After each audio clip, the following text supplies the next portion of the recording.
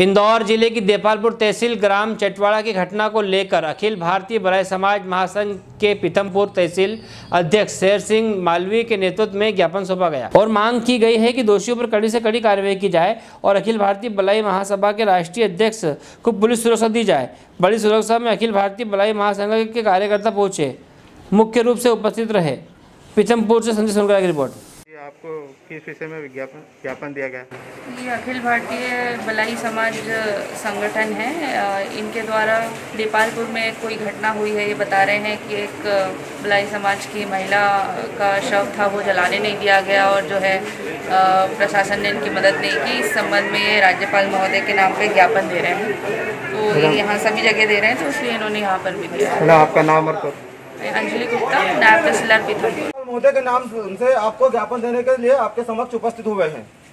माननीय राज्यपाल महोदय, मध्य प्रदेश शासन, विषय दलित समाज की शव यात्रा को रोकने वाले पर कड़ी कार्रवाई बाबत व अखिल भारतीय बलाई महासंघ के राष्ट्रीय अध्यक्ष मनोज जी परमार की सुरक्षा को लेकर आपको ज्ञापन, आपके समक्ष ज्ञापन प्रस्तुत करते हैं। महोदय, निवेदन है कि ग्राम चटवाड़ा तहसील देपालपुर, जिला इंदौर, थाना बेटमा के अंतर्गत दिनांक 10 नौ 2020 को दलित महिला कमलाबाई पति हिंदू सिंह उम्र पैंसठ वर्ष की आसमिक आसमिक मृत्यु हो गई थी।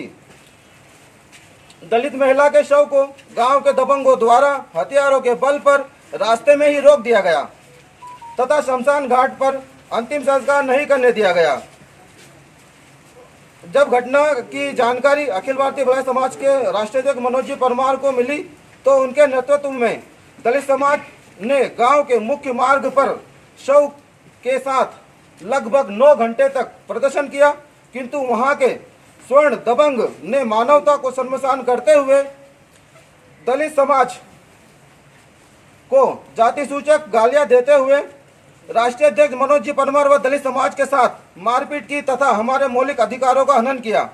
घटना स्थल पर बेटमा पुलिस मौजूद थी, किंतु मूक दर्शक बनी हुई थी। पुलिस प्रशासन के द्वारा कोई भी कार्रवाई नहीं की गई। व तहसीलदार बजरंग बहादुर द्वारा किसी भी प्रकार की कोई कार्रवाई नहीं की गई। आज हमें बहुत दुख है। दुख हुआ है कि आज आज़ादी के तिहत्तर वर्ष बाद भी हमारे साथ जानवरों जैसा व्यवहार किया जाता है। हमारे लोगों के साथ जातिवाद, भेदभाव किया जाता है। अतः श्रीमान जी से निवेदन है कि शव यात्रा को रोकने वाले दबंगों और दबंग लोगों पर कड़ी कार्रवाई की जाए और आदरणीय मनोज जी परमार अखिल भारतीय भलाई महासंघ के राष्ट्रीय अध्यक्ष को सुरक्षा प्रदान की जाए। निवेदक अखिल भारतीय भलाई महासंघ। किस विषय के कारण आपने आज ज्ञापन दिया? गत दिवस इंदौर ज़िले की देपालपुर तहसील के अंतर्गत चटवाड़ा गाँव आता है बेटमा थाना क्षेत्र में। वहाँ पर कमलाबाई पति हिंदू सिंह उम्र पैंसठ वर्ष की बीमारी के चलते मृत्यु हो गई थी। तो बारिश के कारण शमशान में, पक्के शमशान में कुछ दबंगों द्वारा जलाने नहीं दिया गया है। हथियारों के बल पर शमशान में जाने से रोका गया है। हमारे अखिल भारतीय बलई महासंघ के राष्ट्र अध्यक्ष मनोज परमार जी द्वारा वहाँ धरना आठ घंटे तक लगातार दिया गया है बारिश में। इसके बाद भी दबंगों ने हथियारों के बल पर शमशान में नहीं जलाने दिया। इसको लेकर आज हमने ज्ञापन दिया है। अखिल भारतीय बलई महासंघ के नेतृत्व में जो आरोपी है दबंग हो उन पर कड़ी कार्रवाई हो।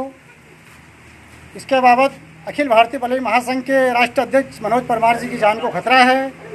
ऐसे छोटी मानसिकता के लोगों कुछ भी हरकत कर सकते हैं।